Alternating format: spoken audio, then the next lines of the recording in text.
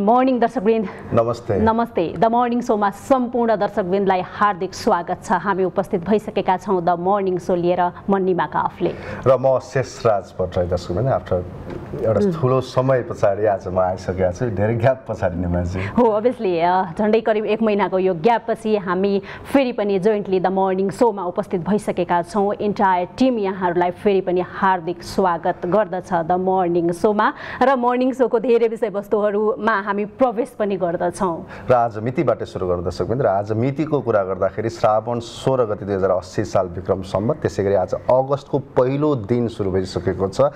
दुई हजार तेइस अगस्त एकमा छौँ हामी। र अब मितिसँगै धेरै परिवर्तनका कुराहरू हुन्छ। हामीले मर्निङ सोमा विभिन्न विषयवस्तुहरूलाई उठान गर्दै आएका छौँ। राजनीतिक सामाजिक सांस्कृतिक यी यस्ता खालका विषयहरूलाई उठान गर्दै आउँदाखेरि सोमबारदेखि शुक्रबारसम्म धेरै ती विषयवस्तुमा हामी चर्चा पनि गरिरहेका हुन्छौँ। र आज हामी यही विषयवस्तु अन्तर्गत स्वास्थ्य क्षेत्रसँग सरोकार राख्ने विषयमा प्रवेश गर्छौँ शेषी अभियसली नेमाजी र कुनै पनि समाज अथवा राष्ट्र भनौँ स्वास्थ्य शिक्षाको क्षेत्रको बढोत्तरी नभइकन त्यो समाजको विकास हुँदैन भन्ने एउटा सामान्य मान्यता अनुरूप नेपालको स्वास्थ्य क्षेत्र खास गरी यो चिकित्सा क्षेत्रको अवस्था कस्तो छ यो विषयमा आज बढी हामी चर्चा गर्नेछौँ। र यस विषयमा कुराकानी गर्नका लागि हामीले गेस्ट पनि निम्ति आइसकेका छौँ। एन्टायर स्वास्थ्य क्षेत्र कसरी अगाडि बढिरहेको छ मन्त्रालयले के के काम गरिरहेको छ मन्त्रालयसँग रिलेटेड कामहरू कसरी अगाडि बढिरहेका छन् एज अ मन्त्रीको भूमिकामा के कस्तो खालको कुराहरू अगाडि बढिरहेको छ यो सबै कुराहरूमा आज हामी कुरा गर्छौँ र यस विषयमा कुराकानी गर्नका लागि हामीसँग आज हुनुहुन्छ स्वास्थ्य तथा जनसङ्ख्या मन्त्रालयका अर्थात् मन्त्री मोहन बहादुर बस्नेत। आउनुहोस् उहाँलाई स्वागत गरौँ। स्वागत छ मन्त्रीज्यू। धन्यवाद। आराम हुनुहुन्छ? स्वास्थ्य मन्त्री त स्वस्थ हुनै पर्यो अभियसली हुनु पर्यो हामी विषयवस्तुमा प्रवेश गरौँ। विशेष गरेर स्वास्थ्य मन्त्री भइसकेको यो क्यापासिटीलाई हेर्दाखेरि कसरी इन्टायर स्वास्थ्य क्षेत्र के देख्नुहुन्छ कस्तो देख्नुहुन्छ? नेपालको संविधानले शिक्षा र स्वास्थ्य जनताको नैसर्गिक अधिकार हो। अर्थात् यो मौलिक हक कायम गरेको छ। र गरिब विपन्न निमुखा व्यवहारिष्य मान्छेहरूको नि शुल्क स्वास्थ्य उपचार राज्यले जिम्मा लिने।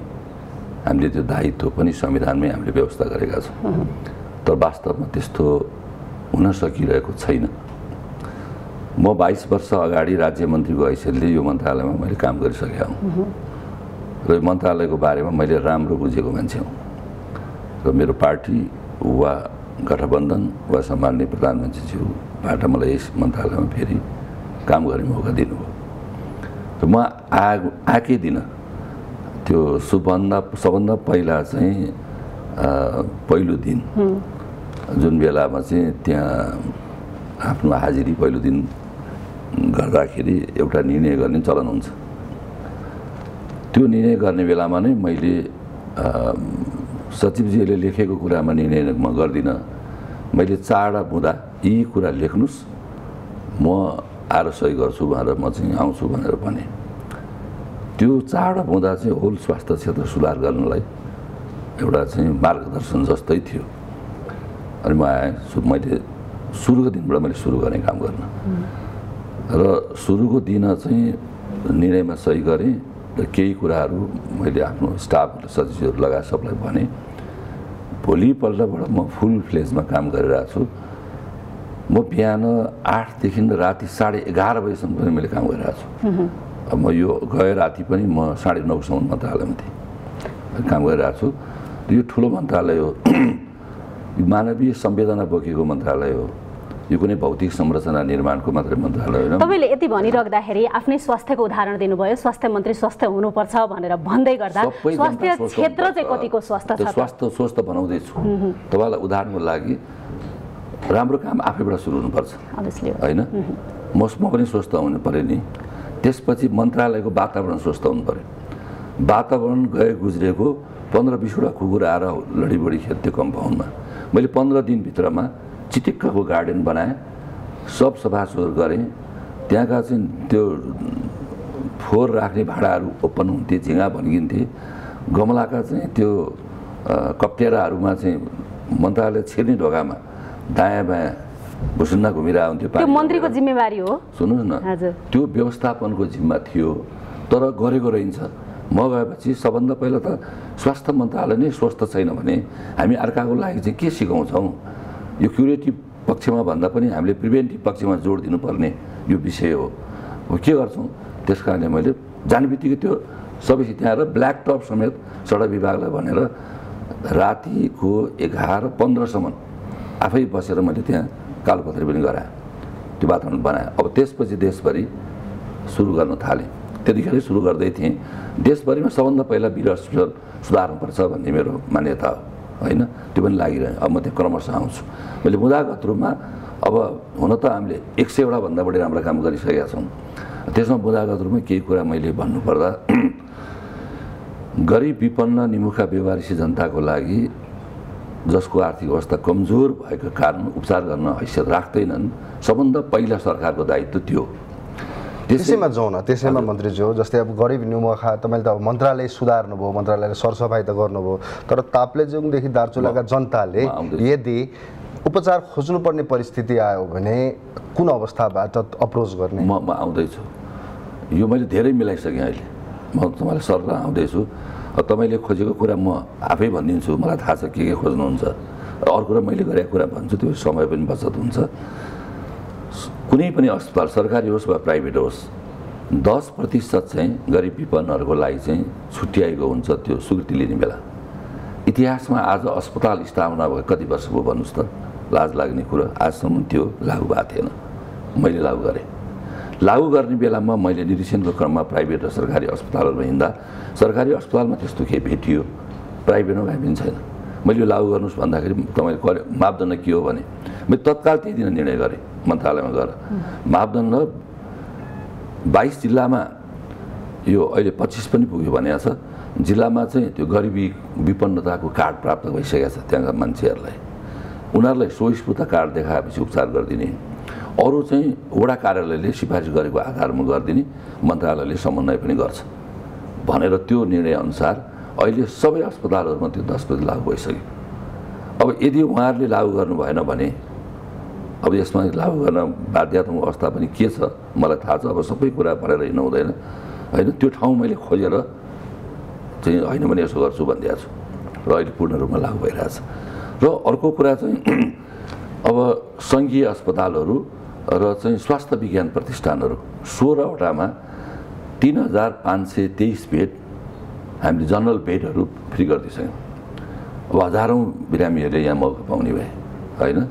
त्यसपछि आएर हामीले चाहिँ अर्को सिस्टम सुधार्ने हिसाबले यो कुन अस्पतालमा के सेवा प्राप्त हुन्छ भन्ने कुरा सामान्य मान्छेलाई सबै थाहा हुँदैन।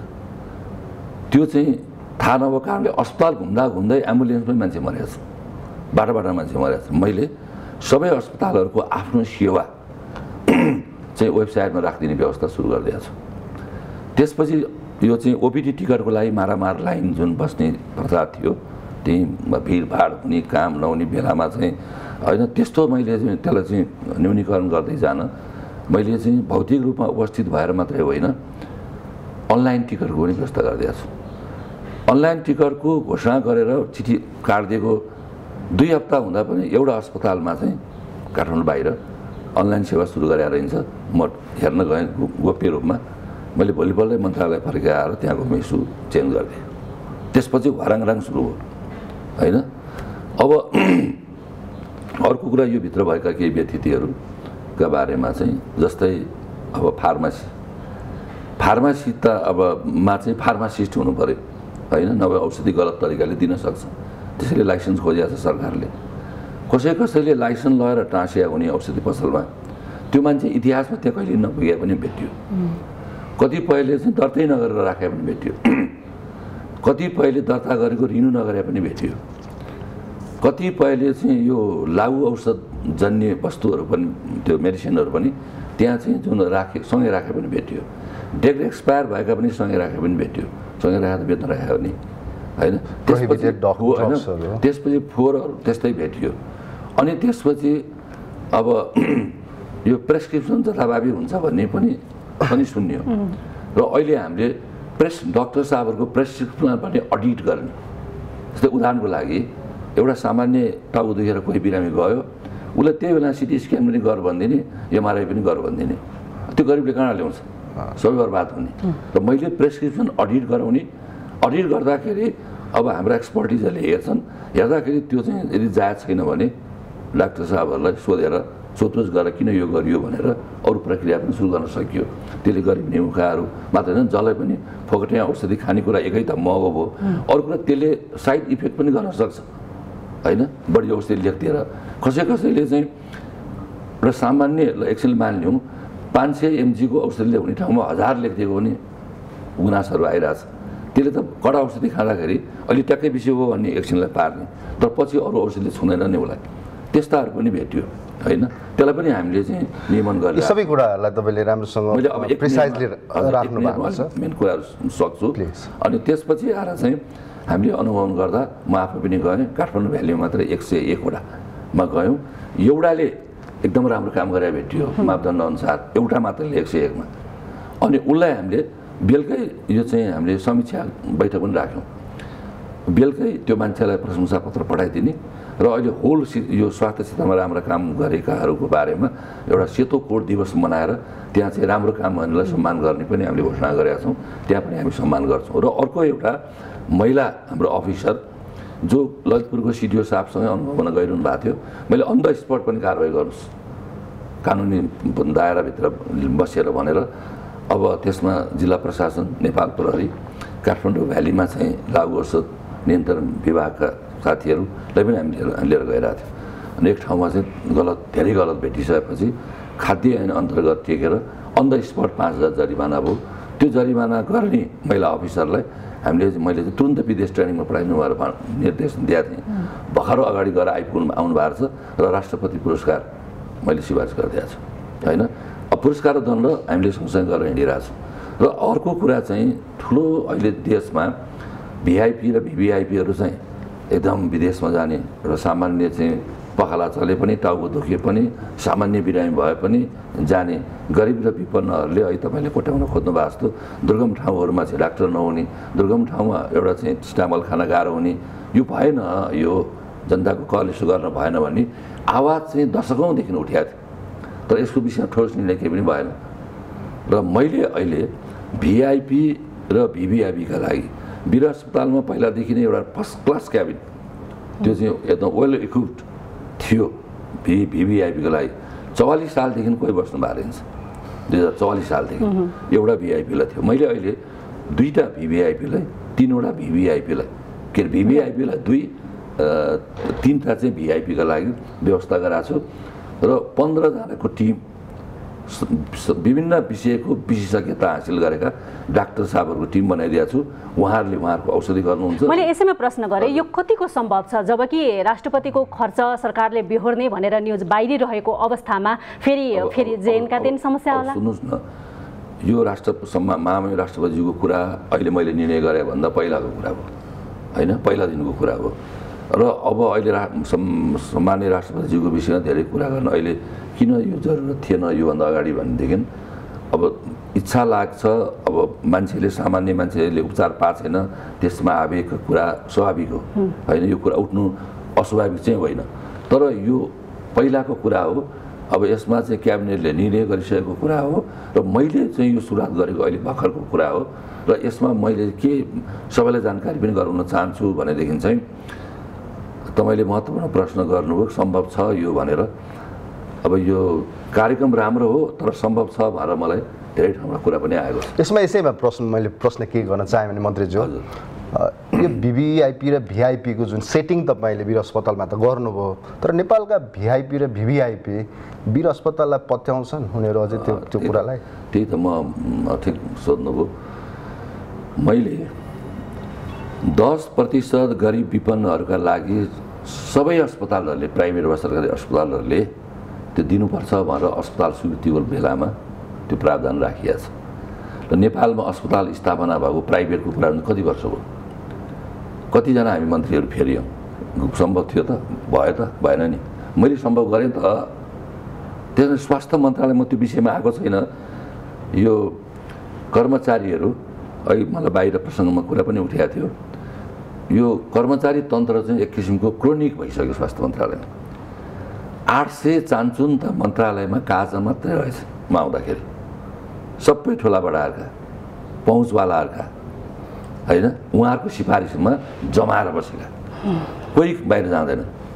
अनि एकातिर सञ्चारकर्मी लगायत देशका सबै खाले मान्छेहरूले गाउँमा डाक्टर खोइ दुर्गम ठाउँमा डाक्टर खोइ स्वास्थ्यकर्मी खोइ भनेर पनि लेखिरहने भनिरहने। अनि मैले जसरी पुर्याउँछु भनेर मैले कसैले भनेको नमानिकन। र एकजना मान्छे क मैले सयौँ सयौँ मैले चलाइसकेँ होइन फिर्ता गरि पनि सकेँ। एकजना कसैको पनि मैले मैले हात जोडेर भनेको छु कि मलाई यो व्यवस्था मिलाउन दिनुहोस्। भनेको स्वास्थ्य कर्मीहरू यति बेला अहिले गाउँ गाउँमा पुगिसक्नु भयो धेरै गइसकेका छ। र जो जान बाँकी छन् सुन्नुहोस्। अस्तिको दिन मात्रै मन्त्रालयले हाजिरी बन्द गरिदिइसक्यो। वीर अस्पतालले हाजिरी बन्द गरिसक्यो। जो जाएन हाजिरी बन्द भइसक्यो। कहाँ जाने त अब। विभागले अस्तिको दिन मात्रै निर्णय गरेर विभागमा अलि मान्छे बाँकी छन् भन्ने मैले सुनेँ। मैले डिजी साहबलाई बोलाएँ र यो छिटो व्यवस्था गर्नुहोस्। जो व्यवस्था जसले व्यवस्था गर्नु उसको व्यवस्था हुन्छ भनिदिएको छ मैले। सजिलो थियो प्रेसर केही आएन। यति धेरै प्रेसर पुऱ्याउनु एउटा मन्त्री हुने बित्तिकै एउटा यो जुन तरिकाबाट नियन्त्रणमुखी स्वभाव हुन्छ एउटा लिडरसिप अझ भनौँ टिआरपी बटुल्नको लागि। नेपालको चिकित्सा क्षेत्रमा जुन तरिकाको अन्यलग्रस्त परिस्थिति छ त्यसमा धेरै चिकित्सकहरू त्यहाँ अन्य स्वास्थ्य कर्मीहरूको हकमा मोटिभेसनल पार्टहरूमा किन काम नगर्नुभयो? म म भन्दैछु यसमा। अब त्यसपछि आएर चाहिँ त्यो स्वास्थ्य सेवा विभागले पनि हिजोबाट हाजिर बन्द गरिदियो। होइन? अब अहिले सयौँ डाक्टर स्वास्थ्य कर्मीहरू दुर्गम गाउँमा हिँडिसके भ्याली बाहिर गइसके प्रदेशका राजधानीबाट पाहाड पसिसके पाका पसिसकेका छ र यसमा चाहिँ यति ठुलो तपाईँले भन्नुभयो मलाई प्रेसर। एउटा पाँच त छ तको कर्मचारी सबै खाले नेता कहाँ पुगेका हुन्छ? र मलाई आजसम्म यो एउटा चाहिँ तैँले फलानु नेताले भनेको फलाना ठुलाबडाले भनेको कारणले सरुवा संशोधन गरिस् काज फिर्ता गरेको फेरि पठाइस् भनेर कसैले भन्यो भने म आजै जाइ छोड्छु युरोप के भन्छ पद छोड्छु। अब यसमा अहिले पछिल्ला दिनमा मलाई सम्मान्य प्रधानमन्त्रीको पनि ठुलो सहयोग छ। गो अहेड भन्नुभएको छ उहाँले। मेरो पार्टी सभापतिले नि ल अगा- अगाडि बढ भन्नुभएको छ। मन्त्रीज्यूहरूले नि भन्नुभएको छ। पार्लियामेन्ट पनि मलाई म सुधार्छु। यो बिसौँ वर्षदेखि यो क्रोनिक म सुधारिरहेको छु मलाई मौका दिनुहोस्।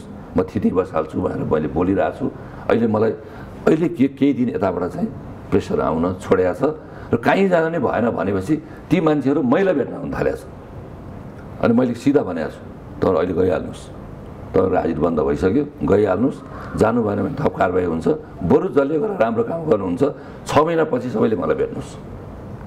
तपाईँले राम्रो काम गरेर आएपछि म तपाईँको व्यवस्था म यहाँ रहिरह्यो भने मैले गर्छु। होइन भने अहिले कुरा हुँदैन भनेर मैले उहाँहरू मसँग भेटेपछि ती पनि जान थाल्नु भएको छ। मलाई अस्तिको दिनदेखि फटाफटै उहाँहरू पनि भेट्न थाल्नु भएको छ बाँकीहरू। होइन? सबै त भेट्नु भएको धेरैले भेट्नु भएको त्यस कारणले यो यत्रो व्यथिति भएर बसेको तपाईँलाई उदाहरणको लागि मैले मिडियामा भन्नै पर्छ। आत्महत्या गर्छु भनेर हामीलाई मन्त्रीले गर्ने भए गर भन्यो भन्ने पनि बाहिर चाहिँ रिमर भन्नुहोस् अथवा के भन्नु यसमा केही सत्यता केही सत्यता पनि छ। म ढाँट्ने मान्छे पनि होइन।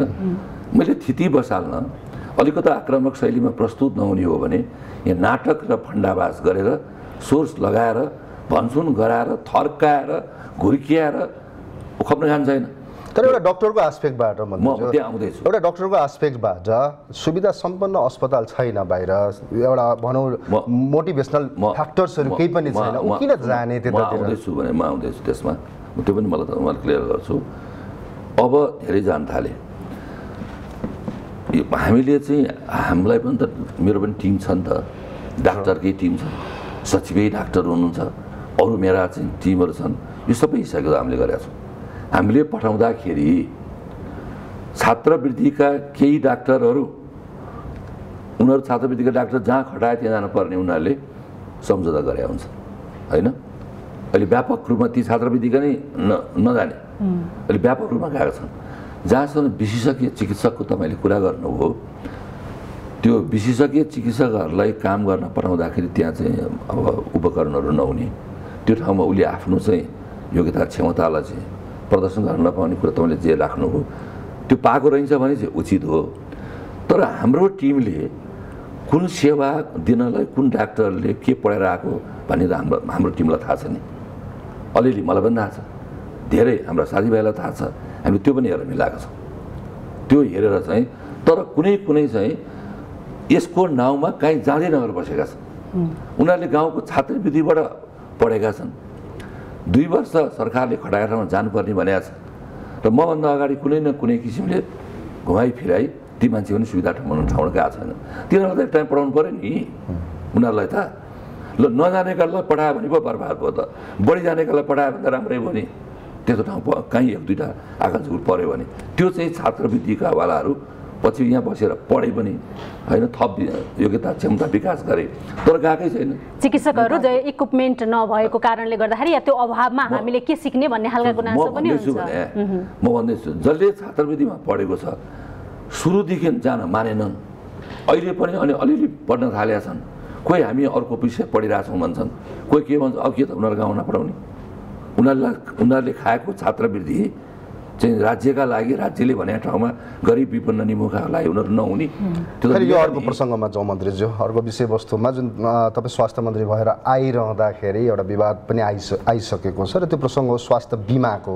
यो स्वास्थ्य बिमा सरकारी अस्पतालले मात्र पाउने निजी अस्पतालले नपाउने भनेर निजी अस्पतालका सञ्चालकहरू रुष्ट छन्। के भन्नुहुन्छ? यो म आएपछिको विवाद मात्रै होइन। स्वास्थ्य बिमाको विषयमा विवाद पहिलादेखि नै हो। र अहिले खालि अर्थमन्त्रीज्यूको बजेट वक्तव्यमा निजीलाई उत्साहित गरेको छैन। त्यस कारणले उहाँहरूलाई अलिकता चाहिँ अब चित्त बुझिरहेको छैन। तर तपाईँलाई म एउटा कुरा यो भित्री कुरा के पनि भनिदिन्छु भने प्राइभेट हस्पिटलहरूले अहिले जो बिमा चाहियो भनेर बुरुक बुरुक बाहिर उफ्रिरहनु भएको छ र यहाँ धेरै कुरा गरेर हिँड्नु भएको छ उहाँहरूले यो बिमा हाम्रो लागि चाहिँदैन भनेर लेखेर दिएको चिठी चाहिँ मसँग छ। म आएपछि यो कुरा उठ्यो अलिअलि। उठ्न थाल्यो। ल के छ यो पहिलाको कुराहरू भनेर मैले मिटिङ राखेर भने उहाँहरूले चाहिँदैन भनेर लेखिदिएको मन्त्रालयको चिठी पनि मलाई देखाउनु भयो होइन? त्यो चाहिँ उहाँहरूको मोबाइलहरूमा कैद गरेर राखेर छ मलाई प्रिन्ट गरेर दिनुभएको छ। त्यो उहाँले बोलेका चाहिँ त्यो चाहिँ त्यो चाहिँ भिडियो समेत पनि मलाई सुनाउनु भएको छ। र अब अहिले यो बिमा स्वास्थ्य बिमालाई व्यवस्थित नगरिकन यो नि शुल्क उपचार गर्ने पद्धति व्यवहारिक रूपमा पूर्ण रूपमा सम्पन्न गर्न गाह्रो छ। यो स्वास्थ्य बिमा महत्त्वपूर्ण विषय हुँदै हो। तर यो बिमामा व्यथितहरू म स्वास्थ्य मन्त्री भएको यो व्यथित त के हेरि बसिरहेछस् भन्ने कुरा नै आउला। एउटा मान्छे आउने बित्तिकै सबै काम सिद्ध्याउँछ। भर्खर दुई महिना जान्छ म आएको यत्रो काम त मैले गरिसकेँ। मेरो सम्मान्य प्रधानमन्त्रीज्यूले मलाई क्याबिनेटमै चाहिँ मैले गरेको कामको प्रशंसा गर्नुभएको छ। मलाई रिभोल्युसनरी हेल्थ मिनिस्टर भन्नुभएको छ उहाँले। होइन काम गरेर देखेर। ऊ अहिले ग्लोबल फन्डको सारा चाहिँ अब यो विदेशी लगानीहरू स्वास्थ्य क्षेत्र लगानीहरूमा राज्यको पहुँच कमजोर थियो। अहिले म आएपछि राज्यको हात बलियो बनाउन थालेको छु। कति लड्नु पर्यो होला? म कति भिड्नु पर्यो होला? होइन? त्यस कारणले गर्दाखेरि चाहिँ अब यो बिमाका बारेमा दुई तिनवटा कुरा छ हेर्नुहोस्। एउटा बिमा बोर्ड चाहिँ आफैमा स्वायत्त चाहिँ हो। हाम्रो मन्त्रालय अन्तर्गत पर्छ। हामीले हेर्नै पर्छ यसलाई। अनुगमन नियमन हाम्रो जिम्मा हो। अब यसमा व्यथिति के छ भने एक लाख रुपियाँको बिमा पाउने छ भने पन्ध्र रुपियाँको औषधि खायो भने खालको ट्याब्लेट दुई चारवटा खायो भने बिरामीले पनि त्यो प्रेसक्रिप्सन गलत बनाएर एकै लाख रुपियाँ लिएको छ। यो बिमा चाहिँ सरकारलाई टाठ पार्न ल्याएको चाहिँ नीति होइन। यो गरिबलाई नि शुल्क उपचार गराउन अथवा सबै नेपालीहरूलाई नि शुल्क उपचार गराउनको लागि एउटा फाउन्डेसन तयार गरे हो। होइन सुविधा दिने हो यो। त्यस कारणले सुरुमा केही अस्पतालहरूले चाहिँदैन भने मेडिकल कलेजहरूले चाहिँदैन भने अब बिमा भएको ठाउँमा बिरामी बढ्न थाल्यो नभएको ठाउँमा बिरामी घट्न थाल्यो। अब उहाँहरूलाई पनि चाहियो यहाँ चाहिँ कराइरहनु भएको छ। तर निजी सञ्चालकहरूको बुझाइ यो छैन। तपाईँकै पार्टीको सांसद सुनिल शर्मा र। अर्थमन्त्री बिचमा त जुहारी नै। नलिएको मात्रै हो। सुनिल शर्माजीले पनि उहाँले लेखेर पठाउनु भएको छ चाहिँदैन हामीलाई भनेर। उहाँले नि लेख्नु भएको छ। लेख्नु भएको छ। उहाँको अस्पतालले पनि। मसँग छ त्यो चिठी। म त यहाँ मिडियामा सार्वजनिकमा बोलिरहेको छु लाइभमा बोलिरहेको छु। त्यस कारणले अब यो चाहिन्छ र चाहिँदैन भन्नेहरूको पनि हिजो लडाइँ भयो।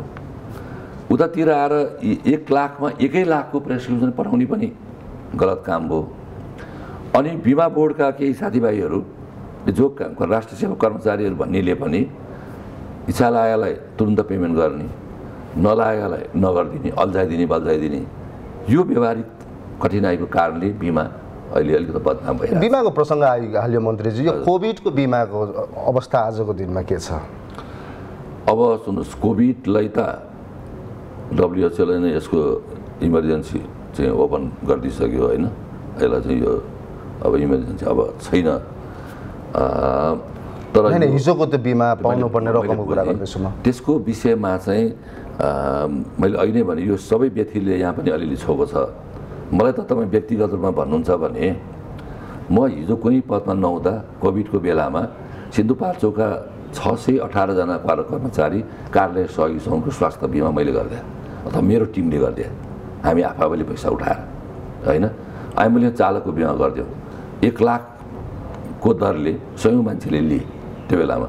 म यो विषयमा चाहिँ के होस् भन्न चाहने मान्छे र प्राइभेट सेक्टरबाट एउटा पार्टीको नेपाली काङ्ग्रेसको कार्यकर्ता भएर काङ्ग्रेसका साथीभाइहरू मिलेर पैसा जम्मा गरेर हामी बिमा गरेर हिँड्ने मान्छे हौँ। हौँ होइन? त्यस कारणले म यो बिमा प्रभावकारी बनाउनुपर्छ भन्ने मनस्थिति भएकै मान्छे हुँ। तर यो जुन समस्याहरू अहिले मैले भनेका समस्या देखिएका छन् त्यो समस्याहरूलाई व्यवस्थित गर्दै अगाडि बढ्ने हिसाबले तपाईँले भन्नुभएको जस्तो प्राइभेटले पनि अब भएन भनेर गरिरहेछ म कहाँ चाहिँ प्राइभेट मेडिकल कलेजको एउटा टिम आउनुभएको थियो उहाँहरूको अर्गनाइजेसन। अब आउने बित्तिकै अलिअलि कुरा भयो।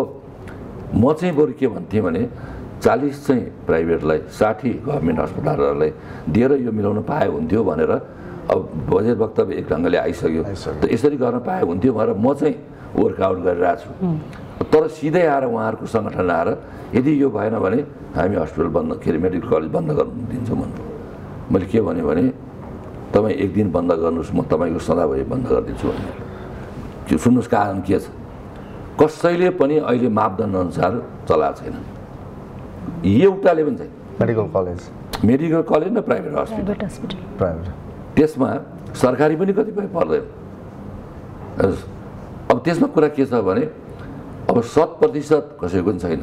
तर कानुनले त एक प्रतिशत नपुगे पनि त त्यहाँ काम गर्न पाइयो नि।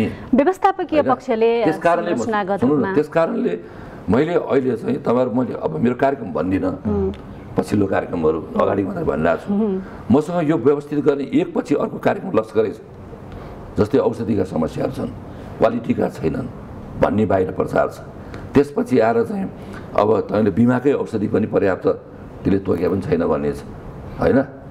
अब यतातिर आएर औषधि व्यवस्थापकहरू हाम्रो यति वर्ष भयो चाहिँ यो पैसा नबढाएको यसको मूल्य नबढाएको भन्ने छ। एकातिर आएर खुर्की लाउने छ तर मैले के थाहा छ भने मलाई कसैले खुर्की लाउन पर्दैन। तपाईँको मैले मिडियाबाट भने मलाई एक एक नस नस थाहा छ। फार्मेसीको नि नस नस थाहा छ। मेडिकल कलेजको नि नस नस थाहा छ। प्राइभेट कलेज यो हस्पिटलको नि मलाई नस नस थाहा छ। सरकारी पनि थाहा छ। यदि यदि यसो हो भने मलाई एक सेन्टेन्स बोल्न दिनुहोस्।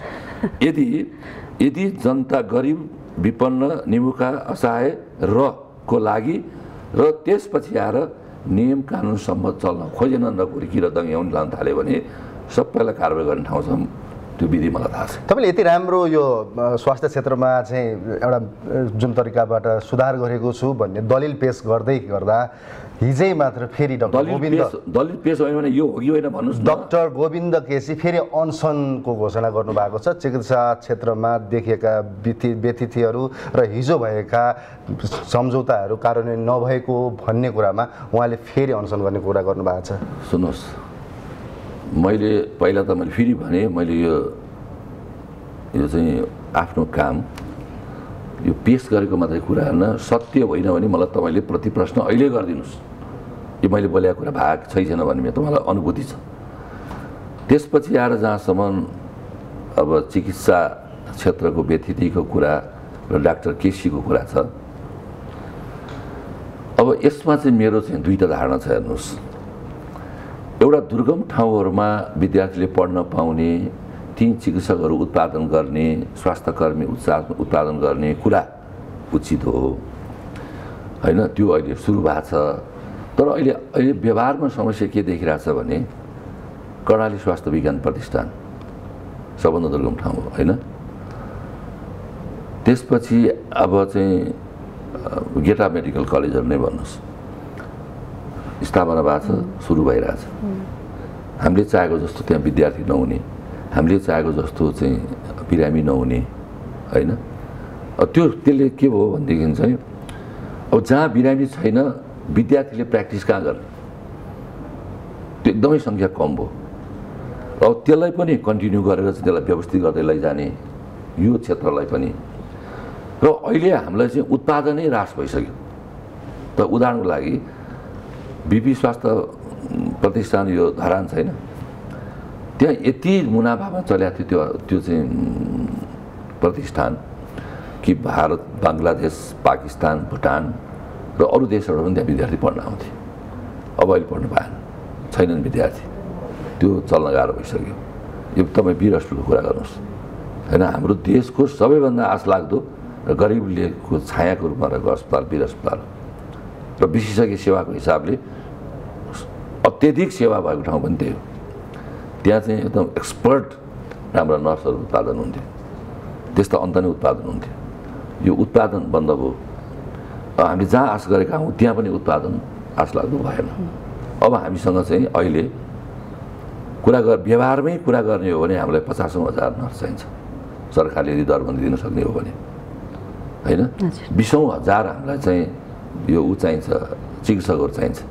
किनभने हिजो बाइस वर्ष अगाडि म राज्य मन्त्री भएर आउने बेलामा तेत्तिस हजार कर्मचारी थियो। अहिले एकतिस हजार रहेछ बाइस वर्षपछि घटेर उल्टो एकतिस हजार। जबकि उपस्वास्थ्य चौकीहरू हाम्रो ओडासम्म छ।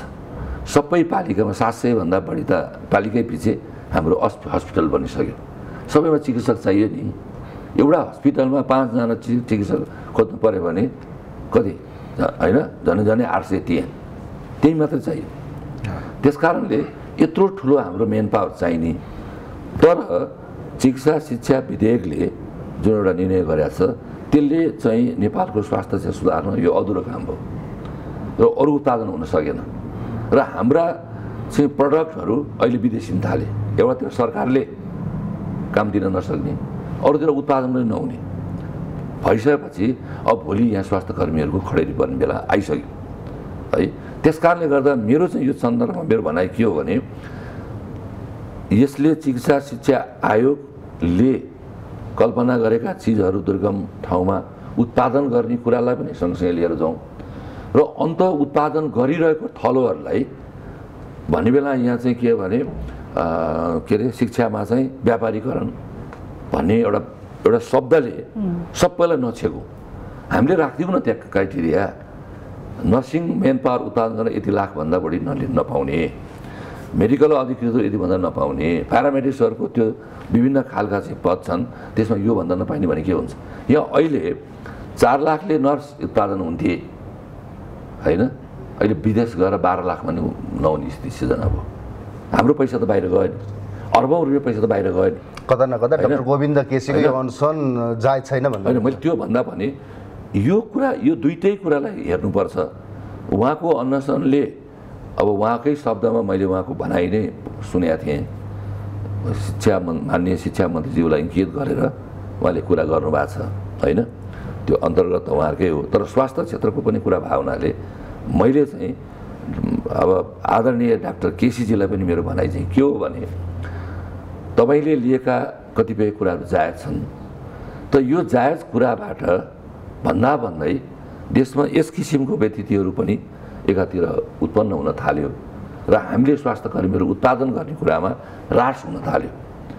र मेरो चाहिँ अझै फेरि तपाईँलाई जोरदारका भनाइ के हो भने नेपालमा चाहिने स्वास्थ्य कर्मीहरू हामीले बजेट व्यवस्था गर्ने बित्तिकै हजारौँ हजार स्वास्थ्य कर्मी हामी आफूलाई चाहिन्छ। त्यसको लागि पनि उत्पादन गर्नुपर्छ।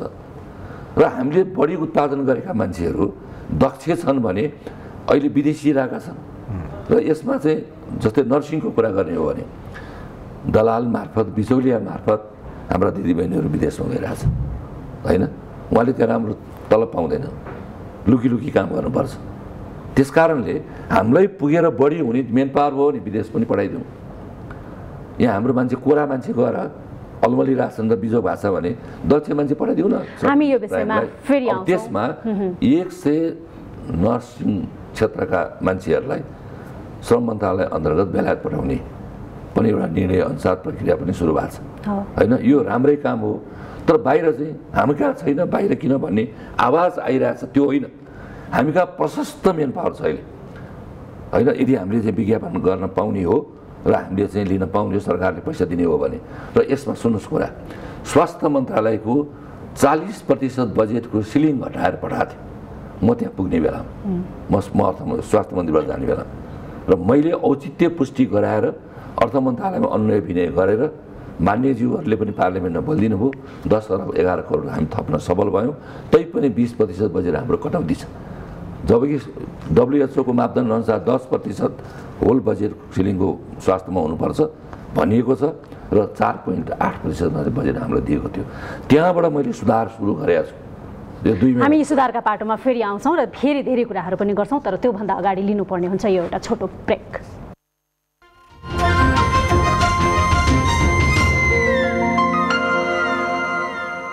ब्रेकपछि पुनः स्वागत छ दर्शक वृन्द। द मर्निङ सोमा छौँ हामी र कुराकानी गरिरहेका छौँ समग्र स्वास्थ्य क्षेत्रको विषयमा र यस विषयमा कुराकानी गर्नका लागि हामीसँग स्वास्थ्य मन्त्री मोहन बहादुर बस्नेत हुनुहुन्छ। आउनुहोस् पुनः उहाँलाई स्वागत गरौँ। पुनः स्वागत छ मन्त्रीज्यू यहाँलाई। हस् धन्यवाद। हामीले ब्रेकमा जानुभन्दा अगाडि धेरै स्वास्थ्य समस्याका विषयमा कुरा गर्दै गर्दाखेरि फर्केर दुई हजार अन्ठाउन्न शेरबहादुर नेतृत्वको पालामा तपाईँ राज्य मन्त्री भइसकेपछि फेरि पनि बाइस वर्षपछि त्यहाँ स्वास्थ्य मन्त्रीको एउटा भूमिकामा रहेर काम गरिराख्नु भएको छ र मिडियामा मन्त्री हुनुभन्दा अगाडि अलिकति चर्चा पनि के विषयमा भएको थियो भने तपाईँको रोजाइ कता न कता एउटा मन्त्रालय भएन भने त्यो मन्त्रालयको नाम लिन मैले त्यो भएन भने स्वास्थ्य मन्त्रालय भनेर आएको थियो मिडियामा। अब यो प्रसङ्गलाई जोडेर हेर्दाखेरि तपाईँले स्वास्थ्य मन्त्रालय रोज्नुपर्ने बाइस वर्षपछिको कारण एउटा र भर्खरै स्वास्थ्य नीति पनि पास भएको छ। यो कसरी अगाडि बढिरहेको छ? के हो? उत्तर एकदम छोटो छ। मैले धेरै कुरा बुझेको थिएँ। त्यतिखेर यो क्षेत्र सुधार्नुपर्ने कुराहरू राष्ट्रका लागि नेपाली जनताका लागि स्वास्थ्य आधारभूत स्वास्थ्य सेवा उपलब्ध गराउनका लागि यहाँ भएका व्यथिति विसङ्गति र गर्नुपर्ने कुराहरू लामो समय भएन। यदि म त्यहाँ पुगेँ यहाँ आएँ भने म यो गर्छु भन्ने अठोट मलाई थियो। र मैले दुई अढाई महिनाको अवधिमा मैले धेरै गरेर पनि देखाइदिएको छु। मैले बुझेको ठाउँ भएको हुनाले र यो काम राज्यले गर्नै पर्ने जसरी पनि गर्नुपर्ने कामहरू चाहिँ अड्केर बसेका हुनाले म चाहिँ कामै गर्न बढी रुचाउने मान्छे म चार घन्टा सुतेर अरू समय पुरा खट्न सक्ने मान्छे अहिलेसम्म मलाई थाक्ने नरुच्ने नपच्ने अल्छी लाग्ने भने मेरो अहिलेसम्म रेकर्ड छैन। होइन म नियमित व्यायाम गर्छु आहार बिहारमा ध्यान दिन्छु त्यसैले म कामै मात्रै गर्ने होला। यो धेरै बढी काम गर्नुपर्ने मन्त्रालय आफूले बुझेको मन्त्रालय। र अहिले त्यही बुझेको कारणले मैले थिति त धेरै बसालिसकेँ त। सुधार त मैले धेरै गरिसकेँ त। त्यही हो। यो त मन्त्रालयको कुरो हो सरकारको कुरो कस्तो छ मन्त्रीजी? समग्रमा नेपालको अहिलेको सरकार जुन पुष्पकमल दाहाल प्रचण्डले लिड गरिरहनु भएको छ यसलाई चाहिँ तपाईँले कसरी लिनुभएको छ? अनि मलाई यो सरकारले सम्मानीय प्रधानमन्त्रीज्यूले पार्लियामेन्टमा आफूलाई चाहिँ समर्थन गरोस् भन्ने हिसाबले जुन किसिमले विभिन्न पार्टीहरूलाई मत मागेर मैले भाषण गर्नुभयो। त्यो भाषणमा म अलिक प्रभावित मान्छे हुँ। अलिकति त्यो एक्सन ओरिएन्टेड शैली र उहाँले गर्छु भन्ने किसिमको प्रतिबद्धता र बाचाहरू उहाँले गर्नुभयो मुलुक सुधारका लागि। त्यसै कारणले म बढी प्रभावित भएर अब मेरो आदरणीय सभापतिज्यू शेरबहादुर देउवाज्यूलाई पनि मैले चाहिँ व्यक्तिगत भेटेर बरु यो सरकारको समीकरणको भोलि जेसी हुँदै जाला। अब यो सरकारलाई विश्वास मत दिउँ होइन? अब बरु राष्ट्रपति चाहिँ हामी पनि खोजौँ। किन अलिक बढी व्यथिति हुने भयो यहाँ चेक एन्ड ब्यालेन्स हुन्छ राष्ट्रपति हुँदाखेरि हुँदो रहेछ। धेरै नहुनु पर्ने थियो हुँदो रहेछ अलिअलि। होइन? अब त्यस कारणले गर्दाखेरि चाहिँ लागु भएर मैले अनुरोध गरेर म माओवादीका नेता सामान्य प्रधानमन्त्रीज्यू लगायत दोस्रो दर्जाका नेताहरूलाई पनि मैले गफ गर्न गएको मेरो सभापतिको निर्देशनअनुसार म पहिलो व्यक्ति हुँ यो अभियान सुरु गर्ने दोस्रो सरकारभन्दा। पछि सभापतिज्यूले धेरै नेताहरूलाई प्रयोग गर्नुभयो यो स्थिति बन्यो सरकार म पनि प्रतिनिधित्व गरेँ। र उहाँले हरेक खालको क्याबिनेटमा तपाईँले जनमुखी काम चाहिँ गर्नुहोस् है रिजल्ट आउने काम गर्नुहोस् है तपाईँ राम्रो गर्नुहोस् है तपाईँहरू राम्रो जसले गर्नु चाहिँ म सहयोग गर्छु भनेर मेरो त उहाँले क्याबिनेटमा पनि प्रशंसा गर्नुभएको छ। है मैले अहिले पनि भनेँ। र प्रधानमन्त्रीज्यूले राम्रो काम गर्नुहोस् भनेर सबलाई हराएको अवस्था हो। अब काम गर्दै जाँदा सानातिना काहीँ व्यथितिहरू अझै पनि अब निराकरण हुन सकेका छैन होला। व्यक्ति त ठुल्ठुला छन् नि होइन? तर म भुटानी शरणार्थी प्रकरणमा तपाईँको नेता बालकृष्ण खाँडकै डिफेन्समा लाग्नुभयो तपाईँहरू आफै। म लागेको छैन। सुन्नुहोस् म लागेको छैन मेरो पार्टी पनि लागेको छैन। एक दुईजना साथीभाइले व्यक्तिगत रूपमा बोल्ने कुरा बेग्लै हो। पार्टीले निर्णय गरेर यसो केही भनेको छैन। नेपाली काङ्ग्रेस ऐन कानुन नियम संविधान लाई मान्ने पार्टी हो। त्यस कारणले गर्दाखेरि एउटा व्यक्तिलाई चाहिँ अभियोग लागेर चाहिँ थुनामा पर्ने बित्तिकै अदालतबाट फैसला नहुन्जेल अदालतले दोषी करार नगरुन्जेल त्यो मान्छे दोषी हुँदैन। त्यस कारण त्यो अवधि र चाहिँ त्यो प्रक्रिया बाँकी छ। त्यस कारणले गर्दा त्यो हुन दिउँ। सर्वोच्चले वा अदालतले जे कुरा फैसला गर्छ त्यो हामी मान्छौँ। यति त हामीले भनेको हो भर्खरै मात्रै नेपाली कङ्ग्रेस कार्य मैले त समितिको नाउँ बैठक पनि सम्पन्न भएको छ। नाम मात्रै उच्चारण होइन धेरै कुराहरू आएको छ। पार्टी सभापति शेरबहादुर देउवाको डिफेन्समा नै तपाईँले अधिक समय बिताउनु भयो भन्ने कुराहरू आइराख्दाखेरि विधान तह दुई दुई महिनामा हुने नेपाली कङ्ग्रेसको बैठक झन्डै वर्ष दिनपछि भइराख्दाखेरि अ, धेरै कुराहरू उठे त्यहाँ महामन्त्रीका कुराहरूमा धेरै प्रश्नहरू पनि उठे धेरै कुराहरू उठे। रूपान्तरणका कुराहरू हुनुपर्ने जनजीवनसँग सरोकार राख्नुपर्ने सरकारका कुराहरू हुनुपर्ने। धेरै कुराहरू चुके पनि। तर तपाईँको समय भनेको अधिकांश पार्टी सभापति शेरबहादुर देउवालाई डिफेन्स गर्नै बित्यो भन्ने आरोप छ सुन्नुहोस्। उसो भए त्यो नराम्रो कुरा रहेछ भने सबभन्दा चर्चा मेरै भाषण किन भयो त? तपाईँहरू जस्तो मिडियाले पनि चर्चा त राम्रो? नराम्रो दुवै होइन? सुन्नुहोस् न किन भयो? त्यहाँ चाहिँ कुरा के हो भने हामीले जे बोल्छौँ बोले अनुसार काम गर्नुपर्छ पर्दैन। भ्रष्टाचारका कुरा नियन्त्रणको कुरा गर्नेले भ्रष्टाचार विरोधी काम आफू पदमा हुने गर्नुपर्छ पर्दैन। सुशासनका कुरा गर्नेले आफू पदमा हुँदा सुशासन कुरा गर्नुपर्छ पर्दैन। मैले भ्रष्टाचार विरोधी अभियान यति धेरै चलाइरहेको छु कि मैले कसैलाई महत्त्व धेरै राजनीति नियुक्ति हुने ठाउँ हो स्वास्थ्य मन्त्रालय। हो कि होइन? एकदमै धेरै। एकदमै धेरै राजनीति नियुक्ति गर्ने ठाउँ हो कि मभन्दा अगाडिका बेलामा विभिन्न किसिमका प्रकरणहरू पनि भएका छन्। म त्यहाँतिर जान चाहन्न अहिले। छन् होइन? मेरो पालामा मोहन बस्नेतले स्वा- स्वास्थ्य मन्त्रीले नियुक्ति गरे बापत फलानासँग पैसा लियो। फलानालाई आर्थिक लाभ लियो। तपाईँ सुन्नु भएको छ? एकजना मान्छेले एक सुका पैसा मोहन बस्नेतले पोस्टिङ गरे बापत यसो गरे बापत उसो गरे बापत लियो भन्ने मलाई तपाईँले प्रमाणित गर्नुभयो भने म त्यही दिन राजी तपाईँको व्यक्तिगत. म त्यहीँ आउँदैछु भने साथीभाइहरूले ठुल्ठुला कुरा गरे। म तपाईँलाई भन्न चाहन्छु ठुला कुरा गर्नेहरू र महत्त्वाकाङ्क्षीहरू आफू मन्त्री भएन के गरेका थिए उहाँहरूको बेला के के काण्ड भए यति बुझिदिनुहोस्। तपाईँ महामन्त्री कुरा गर्दै अनि मैले अब यो मैले मैले मैले यति भने होइन? त्यसपछि आएर सुशासनको कुरा पनि त्यसरी बुझ्नुहोस्। र अर्को कुरा पार्टी सभापतिको बारेमा तपाईँले डिपेन्ड गर्नुभयो भन्नुभयो। म मात्रै होइन। त्यहाँ अन्ठानब्बे प्रतिशत केन्द्रीय सदस्यज्यूहरूले सभापति एउटा विधि र प्रक्रियाबाट आउनुभएको हो। महामन्त्रीज्यूहरू पनि विधि र प्रक्रियाबाट आउनुभयो। सभापतिज्यूका बारेमा अहिले बेकारको कुरा गरेर निकाल्छु सिकाल्छु भन्ने होइन हटाउँछु भन्ने कुरा एकछिनको लागि मुखको स्वाद हो। कसैका तागत छैन। भोटिङ गरेर आएको। हजारौँ महाधिवेशनले भोट हाले हो। महामन्त्रीज्यूहरूलाई नि अहिले निकाल्ने तागत छैन। उहाँहरू पनि हजारौँ मान्छेहरूले भोट दिएर आएको हो। कि होइन अनि निकालेर फेरि त्यो अधिवेशन बोलाउनु पऱ्यो अधिवेशन हुनु पऱ्यो सक्नेले दुई तिहाई बहुमत हुने गरेर सिग्नेचर अभियान सुरु गरेर भइहाल्यो नि गफ दिएर हुन्छ त्यहाँ। त्यो सम्भव छैन। न महामन्त्री हटाउने सम्भावना छ न सभापति हटाउने सम्भावना छ। अब रह्यो संसदीय दलको नेता हटाउने कुरा। संसदीय दलको नेता हटाउन पनि विधि र प्रक्रिया विधान त छ नि पार्टीको। त्यही विधान र प्रक्रियाबाट आएको हो। जो मान्छेले हटाउँछु भन्नुभयो एउटा टिममा आफूभन्दा सिनियरलाई चाहिँ गलत तयार उम्मेदवार बन्नुभयो। टिमको भोट पनि सातवटा पाउनु भएन। उहाँहरूले भन्नुभयो हाम्रो टिमकै भोट सातवटा आएन भन्नुभयो। भने टिमले सुत। उम्मेदवार हुने बित्तिकै स्ट्याटस भन्छ भने यथास्थितिवाद भने के फेरि। त्यही कुरो जुन कुराहरूमा रूपान्तरणको नेपाली कङ्ग्रेस र ठुलो? पार्टी। युवाको कुरा गर्ने कति वर्षकालाई युवा भन्ने यी सबै चालिस नागिसकेका हुन्। सबै युवा भन्नेहरू। अनि युवा पनि म भए चाहिँ युवा अर्को भए न युवा होइन यही होइन कुरा। त्यसपछि आएर रूपान्तरणको कुरा गर्ने पनि सिजन होला नि त। चुनावी प्रक्रियाबाट आउनु पर्यो। ल लिनुहोस् है भनेर चाहिँ टिका लगाइदिने प्रथा यो देशमा। कि गणेश मान्जीले गर्नुभएको थियो प्रधानमन्त्री खान नभएर मैले जाने त्यति हो। टिका लगाइदिने कुरा के सुवर्ण शमशेरले गर्नुभएको थियो? कम्युनिस्ट पार्टीमा त कुरै नगर्नुहोस्। त्यो ठेलेरै लिने हो टिकै लाउने हो। होइन? अलिअलि चुनाव हुन थालेको थियो त्यो पनि बिचमा अड्कियो। त्यस कारणले नेपाली काङ्ग्रेस जस्तो प्रजातान्त्रिक पार्टीमा यसको विधि प्रक्रिया विधानबाट हरेक पदको चयन हुन्छ। हरेक पदमा निर्णय हुन्छ। हरेक पदको लागि अनुमोदन हुन्छ वा नियुक्ति हुन्छ। त्यो प्रक्रियाबाट जानलाई कसले सकेको छ?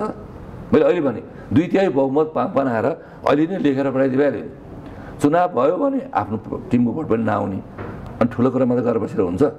कुरा के हो भने अहिले यो फन्डाबाजको जमाना छ। तपाईँहरूको त्यो जमानामा अब हाम्रा केही नेताहरू पनि अलिक तालिम प्राप्त हुनुहुन्छ। त्यति कुरा हो। मैले मात्रै गरेको होइन। मैले पनि सभापतिज्यूको चाहिँ त्यो चाहिँ पक्ष मैले बोले होइन। मैले नेपाली काङ्ग्रेसको विधानको पक्षमा बोलेको हुँ। नेपाली काङ्ग्रेसको विधिको पक्षमा बोलेको हुँ।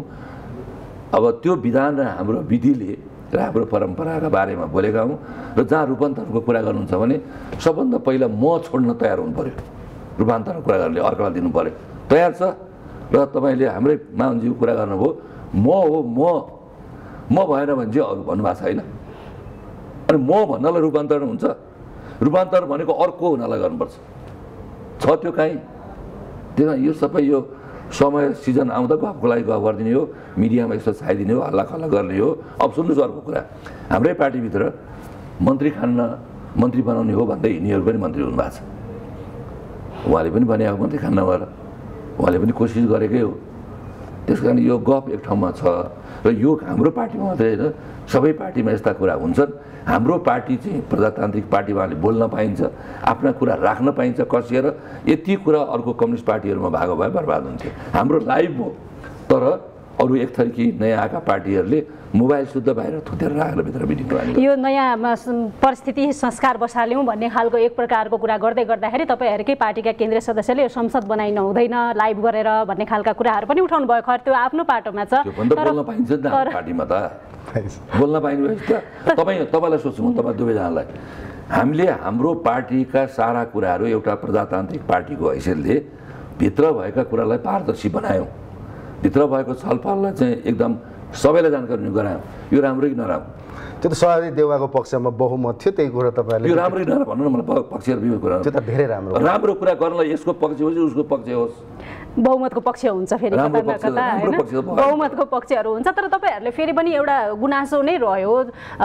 गुरु घिमिरे लगायतका व्यक्तिहरूले कारवाहीको कुरा उठाइराख्दाखेरि बालकृष्ण खाँड तपाईँको पार्टीको केन्द्रीय सदस्यलाई निलम्बन गर्न नसक्नुको कारण चुरो चाहिँ के हो? फेरि भन्दैछु भने कसलाई के मन लाग्छ अब एक थरी कस्तो भइरहेछ भने टिकट नपाएर पनि बिचराहरू विक्षिप्त हुनु भएको छ। एक थरी पाएको ठाउँमा हारेर पनि विक्षिप्त हुनु भएको छ। एक थरी थितिका कुरा गर्ने पनि हुनु होला होइन? अब तपाईँ सबै कुरा बुझ्नुहुन्छ यो कुरा। तर मैले फेरि भने केही काम कङ्ग्रेस पार्टीले त जनताको कुरा गर्नु पर्दैन हजुर। यहाँ त पुरै कार्यकर्ता र नेता बाहेक अरूतिर त जनताको कुरा किन भएको छैन जनताले त्यतिखेर बालकृष्ण खाँडलाई नेपाली कङ्ग्रेसले निलम्बन गर्नुपर्छ भन्छ नि। ल को जनता? मलाई नेपाली जनता। मलाई आरेजनाले भनेको छैन। म फेरि के भन्छु भने कसैले केही। भन्दैमा नि अब हामी विधान संविधान भन्दा बाहिर गएर निलम्बन त फुकुवा हुनसक्छ नि मन्त्रीज्यू भोलिको के? दिन निलम्बन के आधारमा गरिदिनु मलाई बताइनु न जनताले भन्ने भनेमा निलम्बन गरिदिने भ्रष्टाचारको आरोपमा पक्राउ पर्नु भएको छ त्यो प्रमाणित हुन्छ नि। पक्राउ गर्ने बित्तिकै त्यो मान्छे गलत हुन्छ बिना आधार त पुलिसले पनि पक्राउ गरेको त होइन होला। छानबिन गर्न पाइन्छ। नेपालको हो छानबिन छानबिन प्रक्रियासम्म। तपाईँहरूले सघाउने कुरा त छानबिन हुन्छ। उहाँले बालकृष्ण खाँडीले के प्रभाव पार्नु भएको छ त? केही छैन। एक दुईजना अलिक मस्त अलिक बढी नजिक हुनेले तपाईँहरूकै म्यासेज राम्रो जान्छ भन्ने कुरो नि मन्त्रीज्यू सुन्नुहोस् न भने म्यासेज राम्रो जानेर नजाने कुरा गर्दै गयो भने यो देशमा गणतन्त्रको कुरा पनि म्यासेजलाई लागि गयो। धर्मनिरपेक्षता पनि म्यासेजकै लागि गयो। धेरै कुरा म्यासेजको लागि गएका छन्। त्यो म्यासेज जाने कुरा मात्रै होइन। ठिक र बेठिक दुर्गामी दूरगामी प्रभाव पार्ने विषयहरू हामीले गरेका र बोलेका कुराहरूले नेपालको संविधानलाई नेपालको कानुन ऐन कानुनलाई त्यो मर्यादालाई पनि बिर्सन हुन्न त्यो मर्यादाभित्र रहेर हामीले काम गर्नुपर्छ। हामीले अहिले नै विचाराधीन नै भन्नु विचाराधीन पनि होइन अझ। दोषी पनि करार गरेका छैन होइन मुद्दा त्यहाँ चल्या पनि छैन। खालि कस्टमर आएर छानबिन गरेको बेलामा त्यो बेलामा चाहिँ हामीले भट्टाभट त्यस्तो काम प्रजातान्त्रिक पार्टी भएको कारणले चाहिँ प्रजातन्त्रले अदालतको मुखेर बस्छ। अहिले अदालतको मुखेर बसेको। अदालतले निर्णय गर्ने बित्तिकै भोलिपल्ट का पार्टीले का मन्त्रीजी अब अब अर्को प्रसङ्गमा जाउँ अलिकति समय अभावको कारणले गर्दाखेरि त्यतातिर जाने पनि अवस्था छ। यो एक क्विन्टल सुन प्रकरण यतिखेर संसद त्यसका कारणले गर्दाखेरि संसद अवरुद्ध पनि भइरहेको छ र प्रमुख प्रतिपक्षी दल नेकपा एमाले यतिखेर एक उच्च स्तरीय छानबिन समिति गठन गरेर मात्र संसद सञ्चालन गर्ने भन्ने खालको कुरा आएको छ। तपाईँ त्यो जिम्मेवार तपाईँलाई त्यति मात्रै होइन बालबालाहरूलाई आरोप समेत लगाउनु भएको छ फेरि अरू कुरा अब कुरा मैले जवाब दिएँ म तपाईँको ठ्याक्कै जवाब के दिन्छु भने तेत्तिस किलो सुन प्रकरण कसको पालामा भयो तपाईँलाई सोधेँ मैले। त्यता नजाउँ न मन्त्रीजी यहाँ एक कहिलेकाहीँ जवाब दिनु न। कसको पालामा भयो केपी शर्मा ओलीको के विचार पालामा हो। अनि त्यो बेलामा चाहिँ यो छानबिन समिति राख्नु भएन नि त सुन्नु न भने। छानबिन समिति पार्लियामेन्टले बनायो त्यो तपाईँहरूले अवरुद्ध गर्नु भएन संसद। फेरि कुरा गर्नुहोस्। ए बाबा चाहिने कुरा यो हुन्छ कि हुँदैन? यसमा एउटा हरेक कुरामा विपक्षीहरूलाई अप्ठ्यारो पार्ने गरी अथवा चाहिँ आफ्ना कुरा राख्न चाहिँ यो व्यथिति सिर्जना गर्ने पार्टी होइन? नियम कानुन संविधान सम्बद्ध हिँड्ने पार्टी हो। विपक्षीहरूलाई पनि काम गर्नु सरकारलाई पनि काम गर्न दिनुपर्छ भन्ने पार्टी हो। र हामीले चाहिँ सय दिनसम्म त केही बोल्दै बोल्दै गर्दा गर्दै थियौँ अडचालिस सालमा चाहिँ एक महिना नै बित्न दिएन त्यो बेला। अब कम्युनिस्टका नेताहरू पार्टीले त्यो बेला काङ्ग्रेस सरकारका विरुद्धमा हामी यस्तो हरेक कुरामा बुरपुर उब्रिएर हिँड्दैनौँ र अर्को कुरा अचम्म मलाई फेरि के लागिरहेछ भने गृहमन्त्रीज्यूको पालामा अथवा यही प्रधानमन्त्रीको पालामा सामान्य प्रधानमन्त्री पुष्पकमल दाहालजीकै प्रधानमन्त्रीत्वमा यो कारवाही भएको छ। त्यो बेलामा अनुसन्धान पनि छोडेको थियो पछि सुरुमा केही मान्छेहरू पक्रेपछि के अनुसन्धान गरेर छोडिदिने भनेर छोडिदिएको थियो। हो कि भएन त्यो बेला? त्यति किलो सुनमा अनुसन्धानै भएन पछि। अहिले अनुसन्धान गर्दै समात्न थालेको छ समातिएको छ थुनामा छ। अनि सुन समातियो भनेर चाहिँ राजीनामा प्रधानमन्त्री दिनुपर्ने किन दिनुपर्ने भए सुन कसले समातिदिन्छ? त एकपटक धन्यवाद दिएर तपाईँहरू यसलाई कडाइका साथ लाग्नुहोस्। बाँकीहरूलाई पनि समात्नुहोस् को को हो भनेर पो भन्नु पर्थ्यो त। सुन समातिया छ समात्नेलाई कारवाही गर्नुपर्छ भने समात्नेलाई राजीनामा गर्नुपर्छ भने यो विरोधको लागि विरोध मात्रै हो कि भन्ने पनि आशंका गर्ने ठाउँ जनतामा परेको छ। त्यस कारणले गर्दाखेरि मेरो चाहिँ भनाइ के हो भन्नुहुन्छ भने म मन्त्री भएको हैसियतले होइन नेपाली नागरिक भएको हैसियतले पनि जसको पालामा सुन समातिया छ उसलाई राजीनामा गर्ने। अनि अरू पर्दैन सुन नसमात्ने कालोबजारी नरोक्ने यो खालको सिर्जना अवस्था सिर्जना हुन दिन हुँदैन। कारवाही फटाफट गर्नुपर्छ। ज जसले नचाहे काम गरे हो अनुसन्धान राम्रो हुनुपर्छ र यो चाहिँ कानुनको दायरामा ल्याउनुपर्छ। चाहे नेता होस्. चाहे जोसुकै होस्। थ्याङ्क यू मन्त्रीज्यू। यो समय र सम्वादका लागि यहाँलाई धेरै धेरै धन्यवाद। हस् धन्यवाद। थ्याङ्क यू हामी कार्यक्रमको अन्त्यतिर आइसकेका छौँ। द मर्निङ सोको समय हामीले मन्त्रीजीसँग धेरै कुराकानी गऱ्यौँ र फेरि पनि भोलि द मर्निङ सो लिएर उपस्थित हुने नै छौँ र फेरि पनि तपाईँलाई शैक्षिक परामर्श सङ्घीयको अध्यक्ष भएको उपलक्ष्यमा धेरै धेरै बधाई तथा शुभकामना द मर्निङ सोको. टिमबाट दिन। चाहन्छौँ. र यो बधाईसँगै भोलि फेरि आउने बाचासहित आफ्नो स्वास्थ्यको ख्याल गर्नुहोला हेभ अ ग्रेट डे। नमस्ते